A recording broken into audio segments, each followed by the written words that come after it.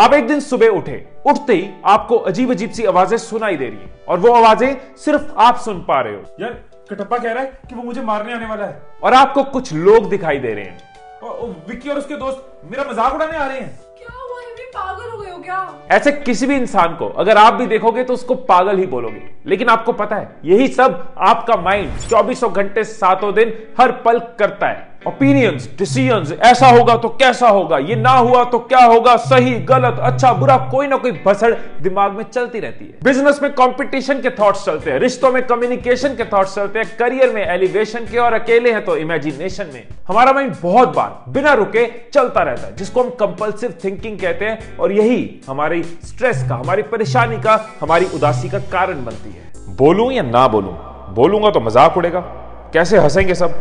पिछली बार भी कुछ गलत निकल गया था मुँह से। बेटा रिज़ल्ट आने वाला है। अगर मार्क्स कम आए तो और अगर फेल हो गया तो फैमिली का रिएक्शन करियर में क्या होगा?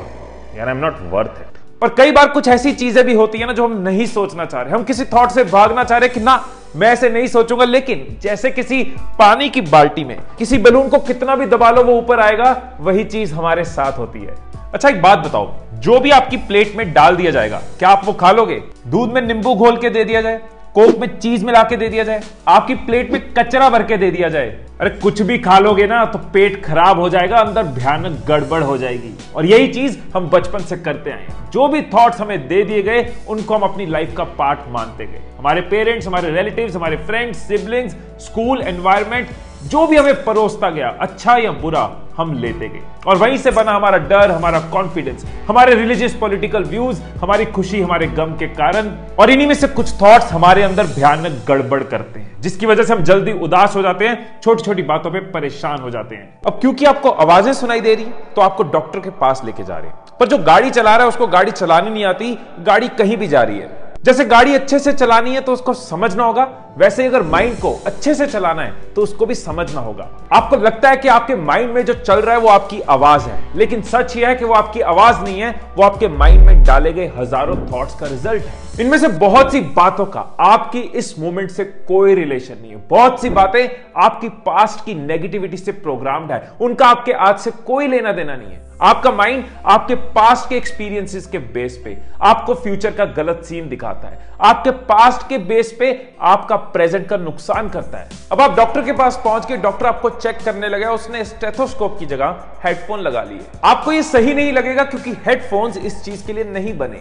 इसी तरह से आपका माइंड दुखी होने के लिए नहीं बना। आपका माइंड खुश रहने के लिए बना। आपकी ज़िंदगी जीने के लिए। है आप अभी 30 सेकेंड्स के लिए इस वीडियो को पॉज करके ये सोचो कि आप क्या सोच रहे हो। अपने थॉट्स को ऑब्ज़र्व करने की कोशिश करो। ये चीज़ आज आप कई बार करके देखो, अपने माइंड में चल रहे शोर को सुनने की कोशिश करो। जब आप ऑब्ज़र्व करोगे ना, आपको नज़र आएगा कि कैसे आपके थॉट्स बहते जाते हैं, कैसे एक बॉल की तरह वो बाउंस कर रहे हैं। कई बार ना आपको ट्रेन ऑफ़ थॉट्स नज़र आएगी, उसके पैटर्न को देखो। आपको ना अपने थॉट्स के साथ बहना नहीं है, आपको इमोशनल नहीं होना। वो थॉट है, आप नहीं हो, आपको उसके साथ जुड़ना नहीं है डिबेट नहीं करनी, तर्क वितर्क नहीं करना, बस ऑब्ज़र्व करना है। अपने थॉट्स को सिर्फ़ ऑब्ज़र्व करना शुरू में कुछ सेकंड्स ही कर पाओगे, फिर बह जाओगे। धीरे धीरे बढ़ता जाएगा। फिर कुछ मिनट्स कर पाओगे और बढ़ाते जाओगे। जैसे क्वेश्चन की आवाज़, आपको एक साउंड लगती है।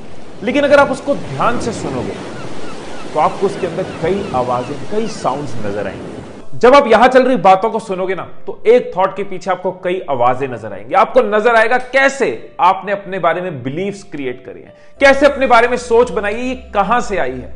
कई डीप रूटेड बिलीव्स जो आपका नुकसान कर रहे हैं। खुद पे जो आपने शक करना शुरू कर दिया जो आपने कई चीज़ों में डरना शुरू कर दिया आप समझोगे कि बहुत सी चीज़ें पास से निकली हैं बहुत सी चीज़ें बचपन से निकली हैं। यार मैं बच्चा था इट्स ओके okay, अब मैं बड़ा हूँ। वो भी बच्चे थे जो बोल रहे थे क्यों दिल पे लगा के बैठा हूँ? वो मेरा पास्ट था वो मेरा आज नहीं है। आप अपने बारे में कई नए बिलीव्स क्रिएट कर पाओगे। आप अपने बारे में अपनी सोच बदल पाओगे। हर चीज़ सोच से शुरू होती है सोच ही बनाती है और सोच ही डुबाती है। अगर अपनी सोच को समझ लिया तो समझ लो अपनी ज़िंदगी को समझ लिया।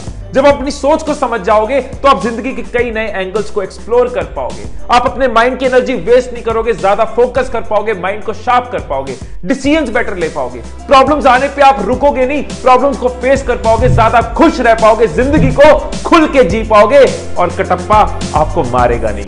कहा है कटप्पा?